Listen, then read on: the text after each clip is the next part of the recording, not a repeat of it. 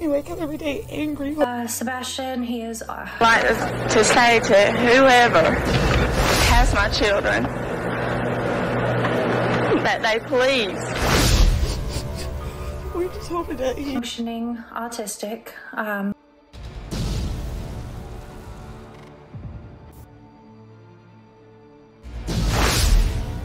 happy and alive.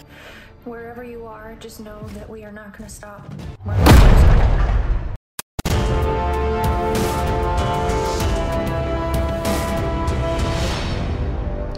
This is Reporter Room with Jessica Della Davies.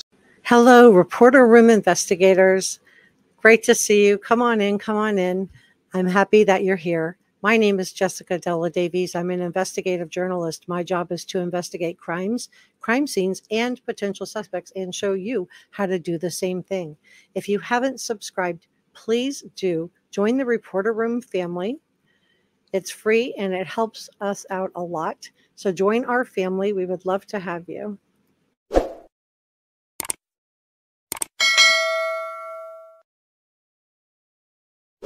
We have so much stuff to dig into today on the Sebastian Rogers case. We are going to be talking about a variety of things, um, including private, the private investigator updates, narcissism, and what role this may have played in this trauma bonding, how it relates to Katie Proudfoot, and maybe narcissism and trauma bonding is something that you personally can relate to. We're going to talk about the new spokesperson, Tony Matheson, um, the private investigator updates. So, are you watching closely? Everything I'm sharing with you is my opinion, and opinions are not facts. So, please don't send any negativity to anyone. Please um, help me welcome all of our channel members, our subscribers, and our mods. And my deepest thanks to each and every one of you. I'm so glad that you're here. So come on in, you guys. Um, so we're going to talk about how narcissism is impacting the case in just a moment. But I want to talk about this new private investigator situation. I'm just wondering if if this type of relationship and the type of men that Katie chooses just don't treat her very nicely. And if she's uh, and I, you know, Chris Proudfoot has come on to multiple YouTubers and he's even sought out women on Facebook to bully and intimidate, in my opinion. This is my opinion. It's not a good look. Um, it's just not a good look. But let's take a look at, let me grab this really quick. Let me take this down. I'm going to. Narcissists use trauma bonding and intermittent reinforcement to help get you addicted to them. This is according to survivors of DV. Um, so maybe this is something that's happened to you in your life.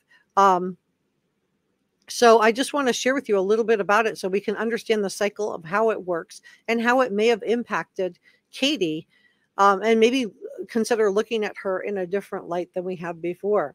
So the big question people always ask is why didn't he or she leave? Um, and you know, and I and I I get why people want to ask that, but it doesn't always go make it that easy. And I know with with Katie, if the stuff that was going on in Sebastian with Sebastian and Chris Proudfoot is true, and I'm not saying it is, but if if some of the things that we've heard from from the neighbors is true, then why didn't she just leave? It's it's a very hard bond to break, and the components necessary um, form a power differential followed by highs and very very strong bonding, and then big lows. So it's a bond that develops when two people undergo intense, risky emotional experiences together. And in the context of an A relationship, I'm watching my words, this bond is strengthened due to heightened intimacy and danger. It's very similar to Stockholm syndrome, um, as both the source of the terror and the comfort can be the same person and the, and then you're just trying to survive in this tumultuous relationship. And as a result a lot of dv victims feel a misplaced unshakable sense of loyalty and devotion to the perpetrators i'm watching my words which to you know somebody who has not gone through this may appear nonsensical. It just looks bizarre. But if you have gone through something like this then you can probably relate to this. Maybe you had narcissistic trauma bonding with a partner, uh, a spouse, or a boyfriend. Maybe you had it with a parent. Maybe you had it with a sibling. Maybe you had it with a coworker. Um, but Dr. Patrick writes um, in the betrayal of the bond, trauma bonding, that it's especially fierce in situations where there are repetitive cycles. And we've heard, we hear all the time how, you know, the cycles of DV, the cycles of A, and I'm watching my words. So I think that, you know, in light of what we know about Katie's mother, if this is true, it's alleged, if this is true, and she is a RSO registered, then did was is Katie just simply perpetuating this cycle into her adult life. So um, he writes, those standing see the obvious, and these relationships about how insanely loyal or attached they share exploitation, fear, and danger. They also have elements of kindness, nobility, and righteousness. These are the people who stay involved or wish to stay involved with people who betray them. Emotional pain, severe consequences, and even the prospect of being done away with does not stop someone who is trauma bonded from being caring or committed. Clinicians call this trauma bonding. And this means that the victims have a certain dysfunctional attachment that occurs in the presence of danger, in the presence of shame. And we've seen this shaming tactic being used um, on social media by one of the of the of the adults and of the three adults where he's you know gone in and tried to shame mostly aimed at at uh, female content creators or females on facebook. So i do wonder what if this is what was going on what we what's going on in the public where everyone can see it it does make me wonder what is going on behind closed doors. What do you guys think? So i do want to talk about this a little bit. It, so what how this works is it's it's intermittent reinforcement in the context of psychological A. It's a pattern of cruel, callous treatment mixed in with random bursts of effect, affection. So the, the perpetrator hands out rewards such as affection, a compliment, gifts sporadically and unpredictably throughout the A cycle.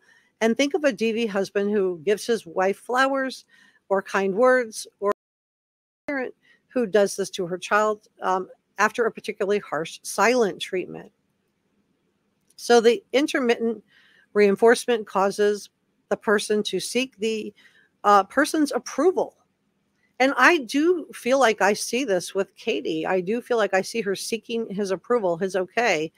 Um, and I'm just wondering if this stems from what happened to her in her own childhood, and if this is something that was then perpetuated into her relationship with Sebastian. So, seeking out the approval is like looking for breadcrumbs because you get these occasional positive behaviors in the hopes that this person will change and, and return to what was the honeymoon phase of the relationship. But we all know that that's not how it goes. It is a cycle.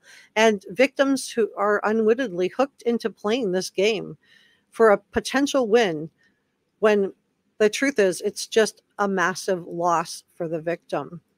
So, a manipulation tactic can also cause us to perceive rare positive behaviors as in an amplified manner. So, you see rare positive, and if you've been through this, then you can understand, you know, what Dr. Carver is talking about here, because it causes you to see just little positive things being you know huge they're amplified and uh, he talks about this in terms of love and stockholm syndrome he says in threatening and survival situations. We look for a hope, a small sign that the situation may improve.